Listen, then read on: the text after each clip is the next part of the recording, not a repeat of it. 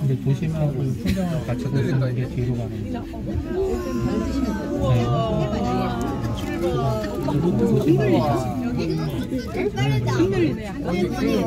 도심하고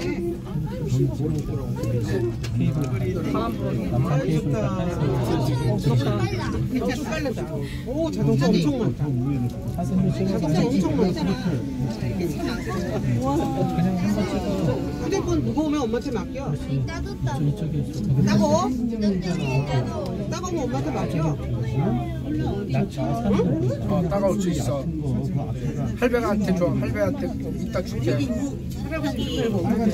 할배한테 맡겨. 아 그래 그래 그래. 할머니가 맡아줄 넣어줄까? 도서관이 그 옆에 계단 있지 올라가는 어? 그 옆으로 올라가는 거야 옛날에는 못 탔는데 높지도 않다 계단 아 여기. 그래 그래 그래 여기서 이현이는 핸드폰 시작해서 담로 안 내네. 장난 아니고 저 남산까지 그러면 중간에 이거 타고 타타 타. 전, 정상 언제로까지 저희가 조금 더 이제 올라가야 되는데 거의 50분은 이것 때문에 금방 가는 거라고.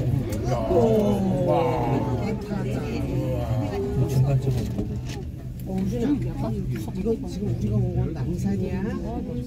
그쵸. 여기를 걸어 올라간다고 저렇게 산책해서 보이죠 저기 꼬불 꼬불 저렇게 해서 올라가야 되는 남산 사진 잘 안 나와.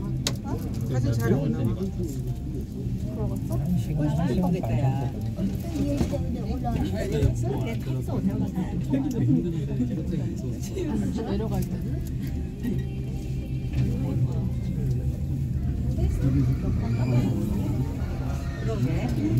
반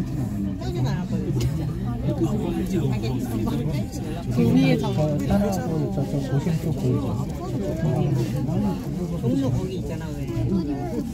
밑에랑 뭐가 보여? 여기까지 올라가서 쉬는 날 거죠 산성인데 여기까지 올라온 거 야, 이렇게 높아? 그냥 여기 걸어 올라온 거 생각해서 반나절 맞아. 계곡하고 여기서 걸어서 올라오는 사람. 전에 가봤어요 여기서 이제 올라가야 되니까 지쳐벤다, 지쳐벤다 계단, 계단 먹을 것 같아 산길다. 산길 또 무서워.